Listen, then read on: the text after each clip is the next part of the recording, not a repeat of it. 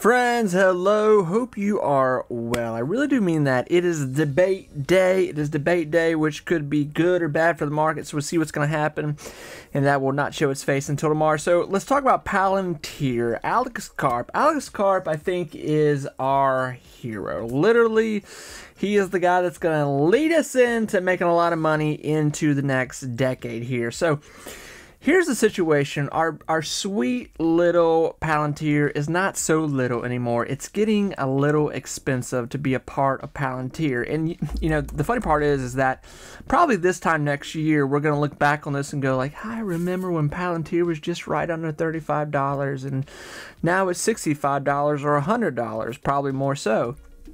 Who knows? It could be even more than that depending on where this bull market ai run will go next.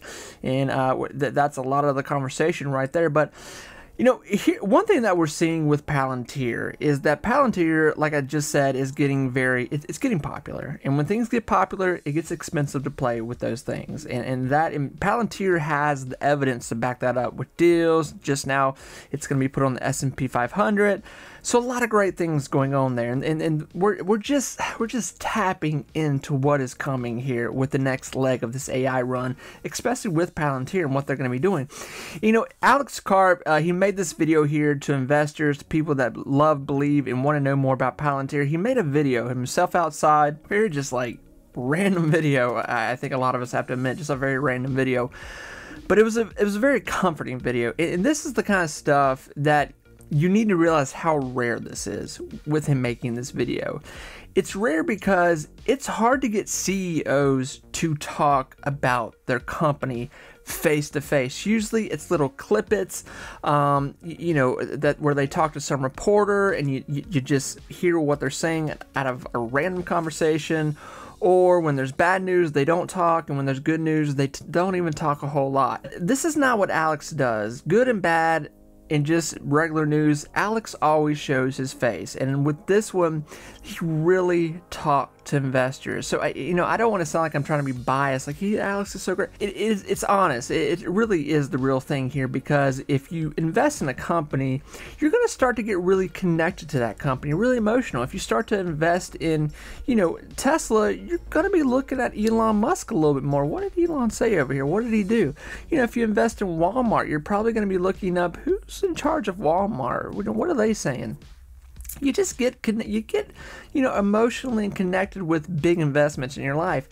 And that's good if it's a long-term play. There's nothing wrong with that if it's something that you're going to be holding on to for a long time. Um, that there's nothing wrong with that.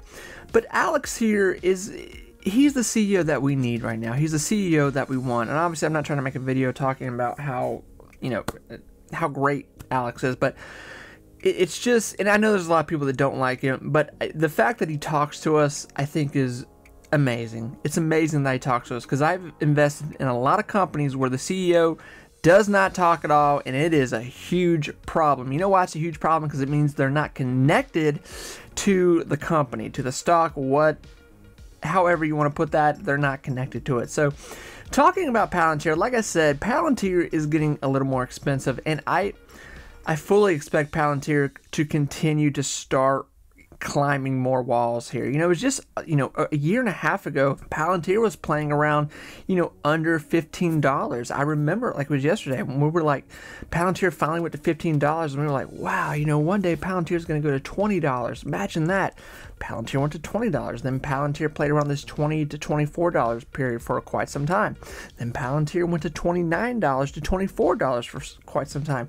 Now Palantir is at a 30 to $35 period for some long, for a little bit of time here. But now it looks like we're going into a 35 to probably 39 40 range here with Palantir. Probably to end out the year, we'll probably be at somewhere around 40 to $43 with Palantir the way it's going right now. And we still have a quarterly to release this year, which is crazy, in which we are pretty much already in the green zone of knowing that it's gonna be it's gonna be good. With all that said, friends, I do believe that Palantir is going to be the official big game changer in a lot of people's portfolio for next year going into the stock market. And, you know, I, I, I don't want to talk about this too much because I sound like a broken record at this point if you listen to me yap here, but I like I'm sold out. I, I am sold out. I'm drinking the juice. I am I am ride or die. I am riding the blank here of AI. I really am because I, I believe there's going to be another AI run. I don't look at AI right now like it's the EV run or it's the cannabis run. You know, the, the clean energy run, like these FOMO moments we've had in the market where everyone's like, this is the next thing. No, we know X we know AI is going to be the next big thing in the market. It's going to continue here because it's not stopping and it's still evolving. A lot of these other the past 5 to 6 years what we've seen in the market, we've seen a lot of FOMO things. Like I just said, we saw EVs really get out of control. You know, everyone with 10 billion dollars was starting an EV company. Um, you know, everyone with 10 billion dollars over here was starting a green energy initiative company. Uh, and then uh, you know everyone over here with $5 billion was starting a cannabis company. So we've seen these FOMO moves in the market here, but AI is something different here. AI is something that is still like it, it hasn't hit a wall. All these other things in the market that we've seen in the past few years, they've hit walls, they've hit bills, they've hit regulations, uh, they, they've hit just, you know, companies running out of money, not enough market. But AI is so broad and still nowhere near being anywhere complete at this point, which leaves you as an investor with a lot of room and a lot of meat left on the bone to be a part of a lot of special companies here. So, talking about the future of Palantir, what we know is we've still got quite a few quarterlies that are guaranteed home runs here going into 2025. Um, Palantir will be a part of the next bull run, but not only that, it will be a part of the next AI bull run, and it's going to happen again. Believe you can take that to the bank.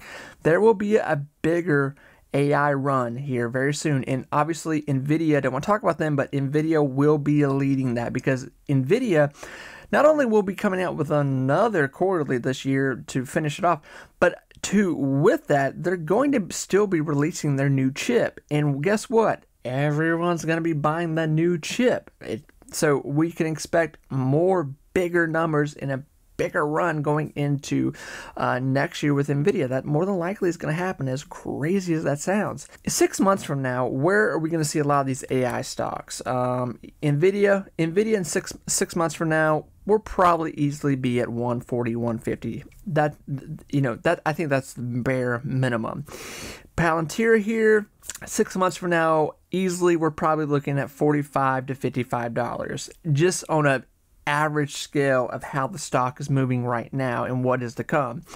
With that too, there's plenty of other AI, AI, stocks. You know, I talk about SoundHound quite a bit. SoundHound is a, I think SoundHound is going to be the dark horse of next year too. I, I think it's gonna, it's not SoundHound is not one of these AI companies that's having these quarterlies of like fifty billion dollars. You know, thirty, well, you know, like thirty billion dollars to ten billion dollars, like Palantir here, or, or Nvidia. What I'm trying to say, they are a smaller AI company, but they are moving up very fast. So I think they're going to be very much a dark horse going into next year, very much so. Um, so definitely check out SoundHound. Palantir here, when we look at this six month, the, the six months here of, of the scale, it's very easy to see that we are climbing slowly. And I am a fan of things that climb very slow. I don't like when stocks just shoot up. I don't like it at all because I know it's going to fall very fast. When a stock goes from like say like $5 to $10 in a matter of, you know, 20 to 30 trading days, I get very very very nervous about that because I know I should probably just take profit here and jump back in, you know, later on because there's about to be a huge decline in shares here uh, in price. But with that, what we're seeing with Palantir is even the last six months have been very gradually growing here, very gradually growing. And now that we're in the $30 range, I don't think we're going to lose this $30 range. I think 29 to $35 is going to be the new playground with Palantir. And when we do see Palantir fall back to a 29 or $30, $31 range, we're probably just going to see a lot of it get ate up again. We're, going to see a lot of it get ate up by investors because they know that's probably the lowest Palantir can go at this point because what we're starting to get into with this point is this there's not as much food on the dinner table with Palantir because we're seeing a lot more investors get into it. And one thing we're probably about to see, what you're going to be seeing here in 2025, you're going to start to see bigger people get into Palantir. You're going to be seeing bigger investors, people like maybe Nancy Pelosi. Maybe if Nancy gets involved in this, it's going to be a game changer overnight.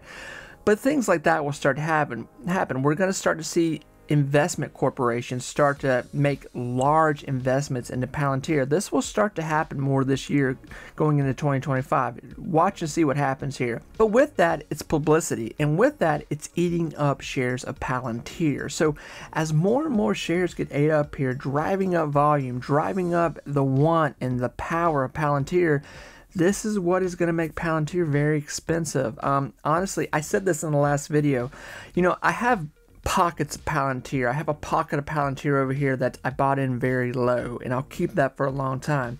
I have another pocket of Palantir over here that honestly, I just use as a savings account, and I, you know, just a, you know, dividend payouts, whatever, go into that. It's just used as a savings account, and it's there because I know Palantir is nowhere near you know complete of being where it's going to be as a with a share price. We've got a long ways to go. And, and, then another you know another platform over here where i'm buying palantir at a different price. And you know so i, I kind of that's just what i do. But i still think there is a lot of room here coming with Palantir. So if you look at this and you go $34, you know, is Palantir really going to go up? Palantir's not showing signs of stopping. That that's that's what should frighten you, friend. That Palantir's not showing signs of stopping. Like I said, uh, the bottom more than likely will be a 29 27 on a really bad day.